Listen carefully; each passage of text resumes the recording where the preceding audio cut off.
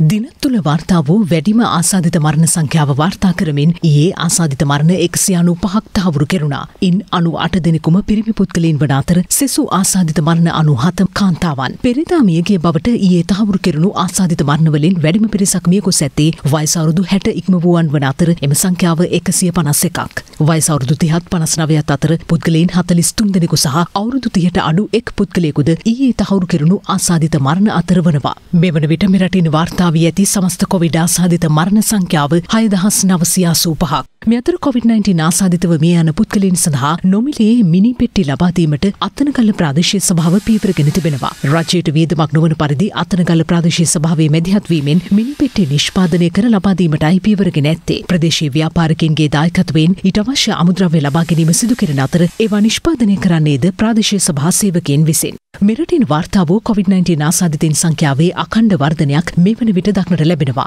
දෛනිකව වාර්තා වූ වැඩිම ආසාධිතින් සංඛ්‍යාව වාර්තා කරමින් ඊයේ හඳුනාගත් ආසාධිතයින් සංඛ්‍යාව තුන්දහස් අටසේ තිස් නවයක්. ඉන් ආසාධිතයෙන් තුන්දහස් අටසේ තිස් පස් දෙනෙකුම අලුත් අවුරුදු පොකුරට අදාළව වාර්තා වූ ආසාධිතයින් වන අතර සෙසු සිව් දෙනා විදේශගතව සිට දිවෙනට පැමිණි පුද්ගලයින්. ඩෙල්ටා වෛරසය භයානක වෛරස් ප්‍රභේදයක් ඒ නිසා විශේෂයෙන්ම මේ දුම් වැටි උරණ අයට ඒ වගේම මධ්‍යසාර ගන්න අයට මේ ඩෙල්ටා වෛරසයෙන් ආරක්ෂා වීමට තියෙන ඉඩකඩ බොහොම අඩුයි. ඔබ දුම් උරණ කෙනෙක් නම් මේ වහාම මේ දිනවල එක නවත්තන්නට ඕනේ මීට හේතුව ඔබට කොරෝනා රෝගී බවට පත්වීමට ඇති සම්භාවිතාවය ඔබ දුම් නොඋරණ කෙනෙකුට වඩා 14 ගුණයක් වැඩි. ඒ වගේම තමයි ඔබ දුම් පානය කරන තැනක සිටිනවා නම් ඔබ අක්‍රිය දුම් පානයට යොමු වීම මගින් ඔබට මේ කොරෝනා 19 වැළඳෙන්න තියෙන අවස්ථාවත් වැඩි. වැළඳුනොතින් සංකූලතා ඇති වෙලා මරණය පවා ඇතිවීමට තියෙන අවස්ථාවත් වැඩි. මේ එන්නත ගත්තත් එන්නත තුළින් තමන්ගේ ශරීරයේ ඇතිවෙන ප්‍රතිශක්තිකරණය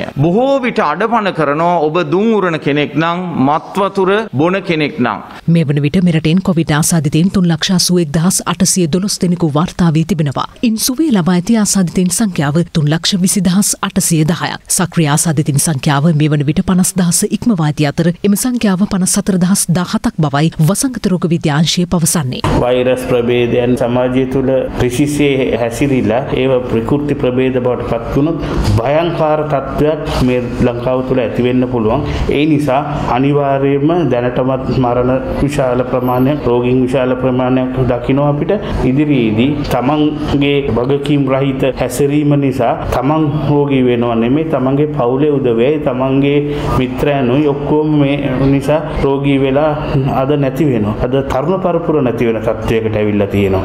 නිසා අපිට මේක සැහැල්ලුවෙන් තකන්න බෑ. මේ අතර කරාපිටි ශික්ෂණ රෝහලේ රෝහල් කාර්ය මණ්ඩලයේ අනු නව දෙනෙකුට COVID-19 ආසාදනය වී තිබෙනවා. රෝහල අධ්‍යක්ෂ වෛද්‍ය ෂෙල්ටන් පෙරේරා මහතා පැවසුවේ මෙම මාසය තුළ පමණක් කරාපිටි ශික්ෂණ රෝහලේ වෛද්‍යවරුන් අට දෙනෙක් හෙද නිලධාරීන් හතලිස් දෙනෙක් සහ කනිෂ්ඨ කාර්ය මණ්ඩලයේ තිස් අට දෙනෙක් COVID-19 ආසාදිතයින් ලෙස හඳුනාගෙන ඇති බවයි. දීර්ඝ කාලයක ඉඳලා මේ වාර්තා වෙන රෝගීන් සහ මරණ සංඛ්‍යාවේ රේඛාව අපිට අනිත් පැත්තට හරවා ගැනීම සඳහා යම් ක්‍රියාමාර්ගයක අවශ්‍යතාවය තිබුණා. ඉදිරි දින 14 තුල කිසිසේත් මේ රෝගී රෝගීන් සංඛ්‍යාව අඩු වෙන්නේ නැහැ. මේ දැනට බීජෞෂධ සමයේ ඉන්න රෝගීන් වාර්තා වෙනවා. ඒ වගේම මරණත් ඒ විදිහටම ඉහළයයි. නමුත් අපිට තව සති දෙකකින් පස්සේ මේ රෝගීන්ගේ අඩුවක් දකින්න පුළුවන් වෙයි. අපිට ඒක අකණ්ඩව ඒ අඩුවීම ගෙන යාම සඳහා මේ සංචරණ සීමා කාලය තුල වගකීමෙන් යුතුව කටයුතු කළ යුතු වෙනවා. ඒ වගේම මේ දින 10න් පස්සෙත් ප්‍රජාවගේ වගකීමෙන් යුතු හැසිරීමක් අපි අපේක්ෂා කරනවා. එහෙම නැති වුණොත් කිසිසේත් මේ ව්‍යසනය ආපහු හරවා ගැනීමට අපිට නොහැකි වෙනවා. COVID-19 මර්ධන එන්නත් කරන වැඩපිළිවෙල අදත් දිවයිනේ ප්‍රදේශ කිහිපයකදීම ක්‍රියාත්මක වනවා.